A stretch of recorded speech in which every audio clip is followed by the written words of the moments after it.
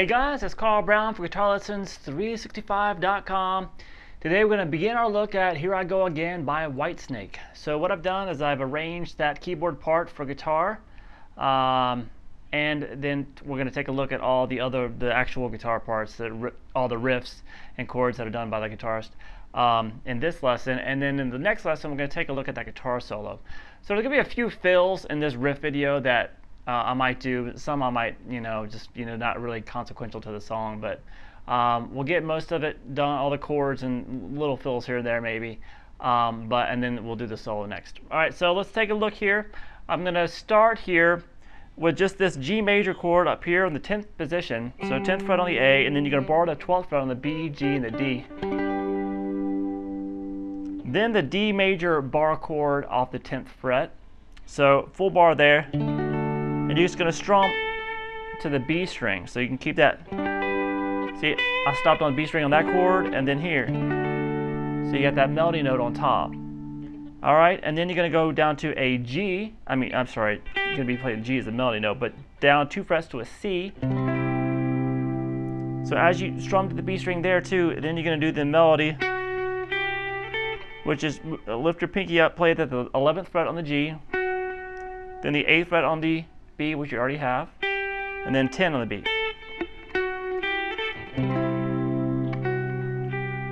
Now the first time you hear it, then it'll go back to the G, D, and then that's starting with the, just basically hold the chord and play the 8th fret on the B, 11 on the G, and then go to the, D. so that's the, okay, and then the vocals come in. And then we had that G to D to C with the melody. Twice.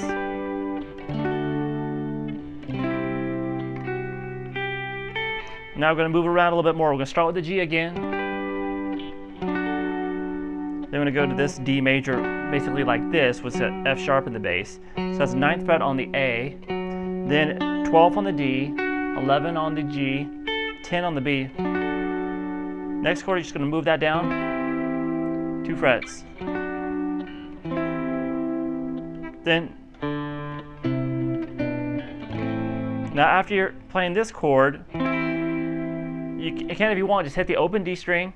We're going a little descending line to this A minor. We're just working our way down to the A minor.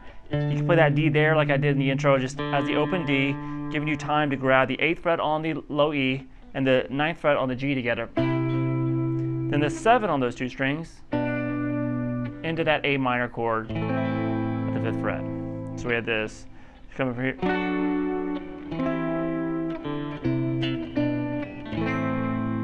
All right, so we got that, and we're going to move over to the D major chord off the 5th fret on the A string. So that's that bar again, just like this chord at the 10th fret, now at the 5th. We have a little descending bass line to get back to the A minor. So that's 8, 7, 5 on the low E, back to the A minor. And now instead of going to D on the fifth string, we're going to go up here and play that D we did earlier.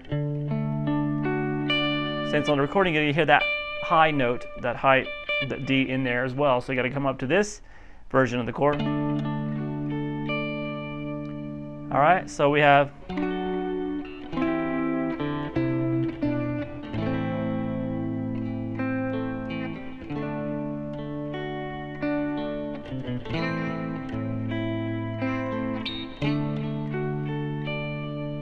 Now just move it up to 12th fret here, and we're going to do an E minor bar chord here. So way up here, just an octave up from that original.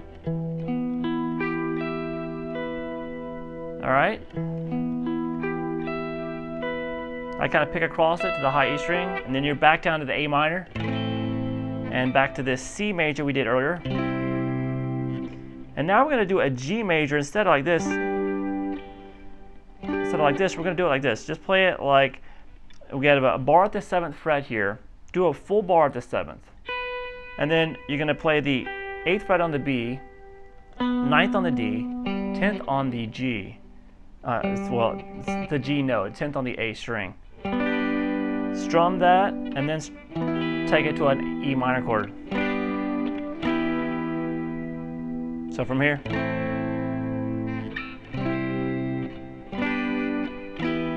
You're going to end it with A minor again, and C to D. So all together.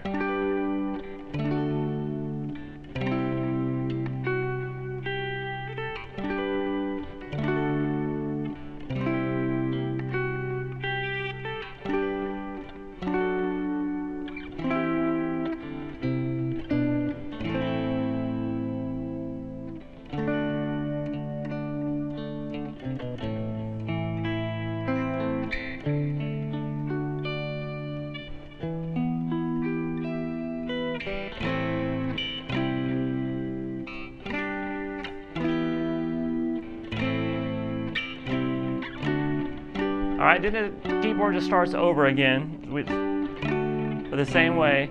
And then halfway through that, we kick in some distortion when it goes from that C to D transition real quick.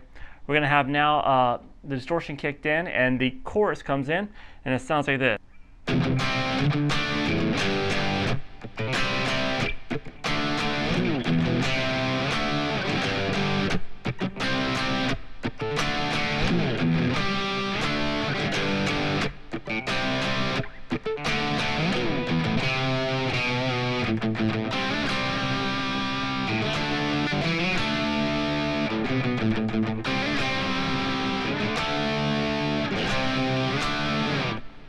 Right, so that's kind of a chorus slash pre-chorus. It kind of goes back, and you'll see what I mean when we start learning the other parts.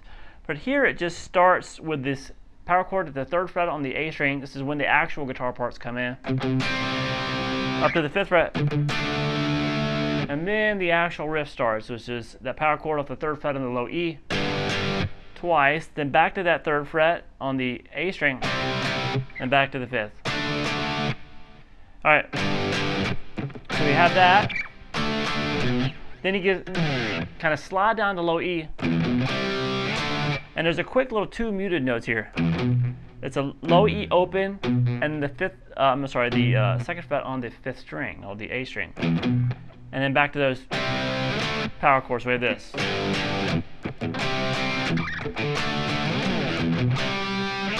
I'll slow it down.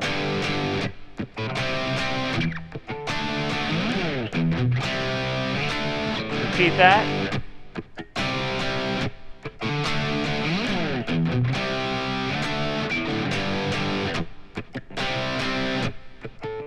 This time, you go do the two muted notes and then third fret, kind of a bend release half step at the second fret. Then you get to an open A string that you palm mute just with some alternate picking. You know, down, up, down, up. And then to come up here to, I like to use these two fingers. You can just use your first finger if you want, or third. But that's the fifth fret on the A, I'm sorry, the fifth fret on the D string, fifth fret on the G. So you slide up to seven, and back to five. And then come up to the fifth uh, fret power chord there off the A string. And then you have this. So that's sliding from seven and nine, and then you're gonna grab the two sevens on the D and the G. So have this.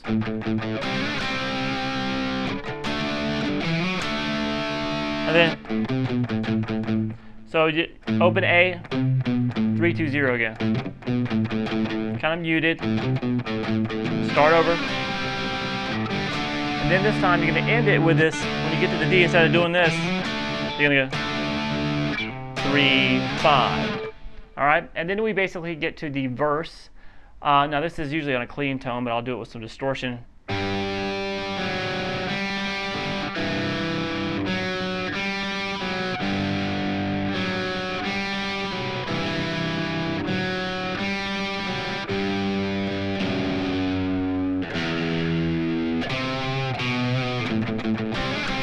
All right, so it kind of quickly goes back to that kind of pre-chorus type thing. So that's the low G here, that's on the third fret on the low E string, and then the open G string with it. So you kind of hybrid pick those, pick the bottom one, middle finger grabs that open G string, and then you're gonna grab the fourth fret on the D, back to that open G. Now pick again, but this time pick the second fret on the D string with that low third fret. And then, and then back to the fourth on the D, open G, back to that four. So it kind of creating some dissonance there.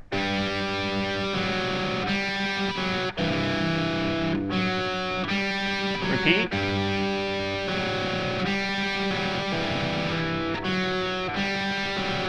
Then hit the two strings and then down to the second fret on the low E, open E, and then three, two, three, two, zero on the A string. And then you're back. Part you did before.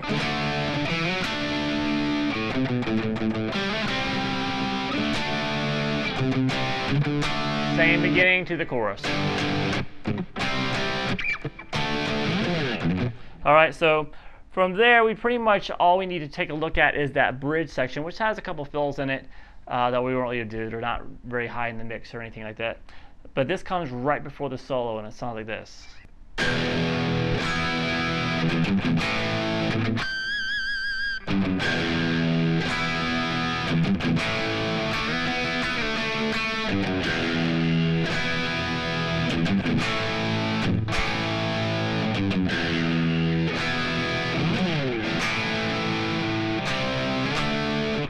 All right, and that leads to the solo. So we're basically doing low E open and then this big E power chord, which is going to be a bar to the second fret across the fifth and fourth string. Then the fourth fret on the G, fifth fret on the B, and then to let the high E string ring open. All right, then three, uh, zero, three, zero on the low E string, muted, to the A power chord with it. Then the, the, that's the second fret on the G string with the pinch harmonic.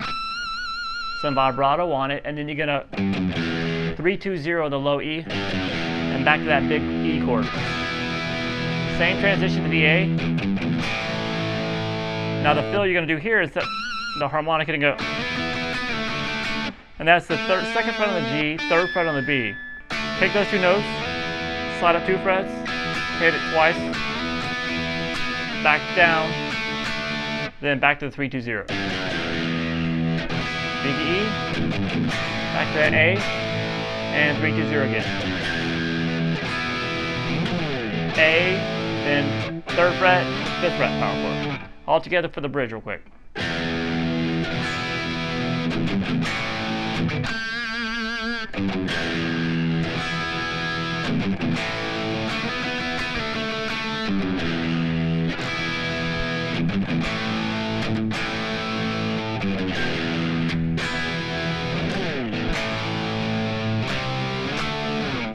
All right, so the real fun in this song is the solo. So I'll see you in the next lesson for that one.